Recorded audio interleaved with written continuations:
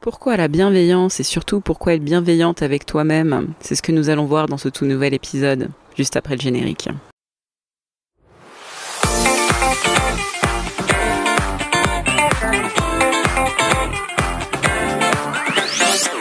Hmm, tu ne t'es jamais dit que la vie c'est maintenant? Non, mais tu sais, quand je te dis maintenant, je veux vraiment te dire maintenant. Now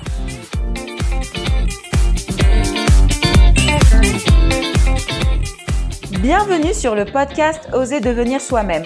Je suis Audrey Tala, ta mindset coach et quantum queen préférée. Ce podcast a pour ambition de t'aider à être la meilleure version de toi-même en te révélant ton vrai pouvoir et ta vraie nature, afin que tu puisses te permettre d'être, faire et avoir tout ce que ton cœur désire, et vivre une vie épanouie et alignée avec qui tu es vraiment. Car tu vis maintenant et tu mérites vraiment de vivre ta best life now. Alors, commençons.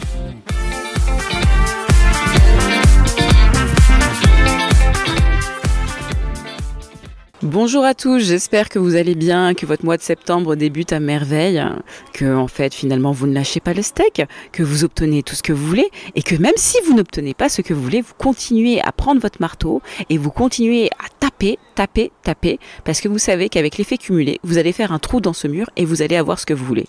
J'adore cette introduction. Tu l'aimes pas toi? Moi je la kiffe. Alors, aujourd'hui, nous allons parler de la bienveillance. Pour moi, la bienveillance est un sujet capital. Pendant très longtemps, c'était une bêtise pour moi parce que je n'ai jamais été bienveillante envers moi-même, en tout cas pendant des années. Le discours que j'avais envers moi-même intérieurement, bien sûr, parce qu'après, personnage de société, tu ne vas pas dire ce que tu penses de toi, mais il était très nocif et très toxique.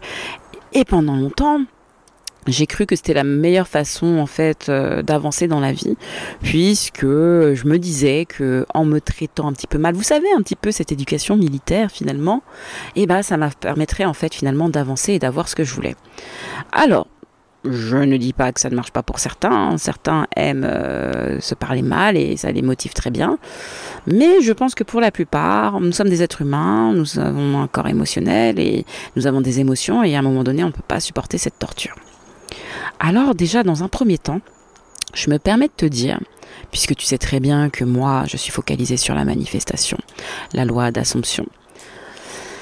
Alors, tu sais déjà que pour avoir ce que tu veux, la règle numéro une, c'est d'incarner la personne que tu veux être. Alors moi, je vais te poser une question toute simple. Elle peut paraître bateau. Est-ce que là, tu peux fermer les yeux pendant un quart de seconde? Ou une seconde, allez, pas vous donner un quart de seconde. En fait, vous n'avez pas le temps.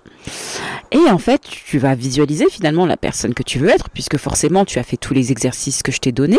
D'accord? Hein, On le sait. D'ailleurs, si tu les as pas fait, t'inquiète pas, dans la barre d'infos, ils te seront donnés. Donc, euh, en fait, finalement, euh, les, les neuf euh, paramètres pour avoir la vie de tes rêves, etc. Donc, finalement, moi, j'imagine que tu as déjà l'image de la super nana que tu veux être. Alors, tu la visualises. Tu vois qu'elle a atteint tous ses objectifs, qu'elle est heureuse, qu'elle est épanouie dans sa vie. Et forcément, elle a la vie dont tu as toujours rêvé. Est-ce que tu penses réellement que cette personne se parle mal? Est-ce qu'elle pense qu'elle mérite un ce traitement-là, vu que finalement elle est arrivée au bout de son objectif? J'ai du mal à croire. Et est-ce que tu sais que pour manifester ce que tu veux, tu dois déjà être cette personne, que tu dois déjà l'incarner? Alors je refais pause, je te demande, pourquoi te parles-tu mal en fait? Pourquoi n'as-tu pas de bienveillance envers ton égard? Puisque toi-même tu sais que la version de toi que tu veux être, elle est cette personne. Et forcément, je pense qu'elle est bienveillante. Alors je vais te demander à partir d'aujourd'hui d'être bienveillante avec toi. Parce que c'est l'une des clés, si ce n'est pas... Enfin, toutes les clés sont fondamentales, alors je vais arrêter de dire clés fondamentales, c'est faux. Mais c'est l'une des clés vraiment pour euh, se permettre d'avoir la vie que tu veux. Parce que même si tous les paramètres de ta vie ne sont pas encore en place, ce qui peut être vrai, il y a au moins une chose sur laquelle tu peux travailler. C'est le dialogue que tu as envers toi-même. Je te parle même pas du dialogue par rapport à comment les choses se passent autour de toi. Je te parle envers toi-même. Il va falloir que tu deviennes ta meilleure amie. Il va falloir que tu deviennes ta cheerleader. Moi, je m'en bats les couilles vraiment de, tous les autres coachs. Moi, je me rappelle, il y a quelques années, j'écoutais Eric Thomas. Je sais pas si, bah si, à mon avis, il doit encore continuer à faire des coachings. Et j'adorais la manière dont il parlait puisque c'était très rabaissant et je pensais que c'était comme ça qu'on avançait. Et en fait, j'ai juste compris à un moment donné qu'il faut se parler comme un bon parent. Et un bon parent, qu'est-ce qu'il fait? Il parle avec bienveillance avec son enfant. Et les autres, bah, il y a des parents qui ont eu une autre éducation, ils pensent que parler mal à son enfant, ça fonctionne. Je ne dis pas que ça ne peut pas ne pas fonctionner, mais je pense qu'on arrive dans la peur, dans l'angoisse et dans des émotions qui ne sont pas parfaites. Donc, puisque tu veux être cette personne, ce que je t'invite à faire, c'est de te parler bien. Même si tu n'as pas atteint ce que tu voulais atteindre aujourd'hui, même si tu as merdé aujourd'hui. Moi, ce que je veux au moins que tu te dises avant de te coucher chaque, soir, pardon, c'est que tu es fier de toi. Es-tu capable de te dire je suis fier, que tu as tout donné, puisque c'est la vérité. Hein. Moi, ça c'est une vérité absolue pour moi. On est toujours à son 100%. Ton 100% varie juste selon les jours. Et donc, en fait, couche-toi le soir en ayant un peu de bienveillance avec toi. Apprends à souligner tes qualités quand tu réussis quelque chose. Arrête cette fausse humilité de merde qu'on t'a appris. Apprends à te dire ah ouais, je suis doué pour ça. Ah ouais, ouais, ça je sais gérer. Apprends à te dire ça. Parce que, à contrario, quand tu apprends à mal te parler, malheureusement, on a appris à se focaliser sur le négatif. Après, hormis ceux qui ont déjà une bonne programmation mentale ou qui ont travaillé dessus, le cerveau humain se, focalise sur le négatif parce que forcément, il a peur du danger et il fait tout pour éviter le danger. Donc forcément, si tu dis à quelqu'un, tu es belle, mais tu es conne, à ton avis, quel est l'élément en fait finalement que la personne va garder en tête? Belle ou conne? Non, elle va garder l'élément conne. Par contre, si tu lui dis tu es belle et je vois que tu fais de ton mieux pour apprendre, pour euh, connaître beaucoup plus de choses, là, elle va être beaucoup plus heureuse. Elle va être, euh, comment dire, beaucoup plus en phase.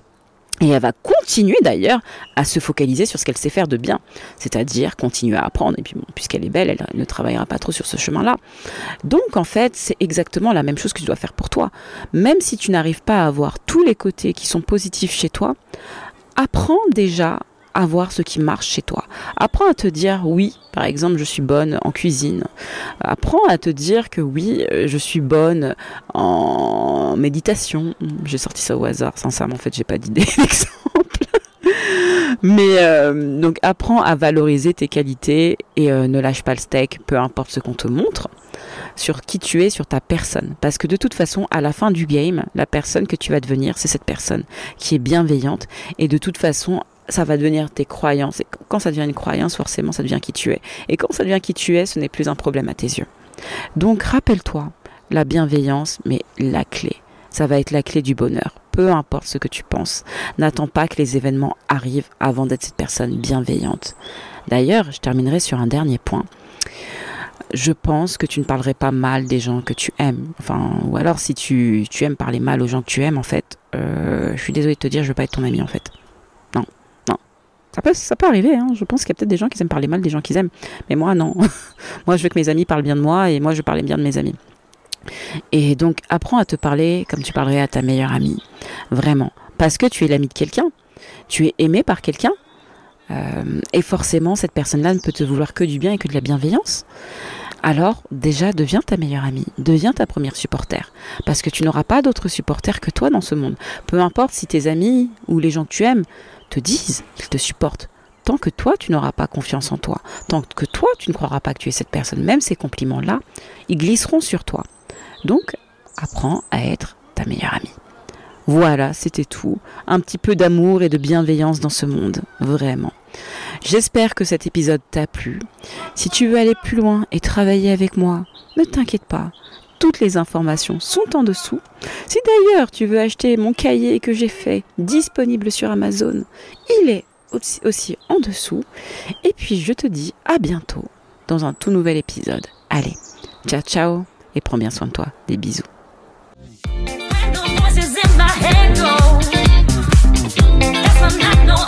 free.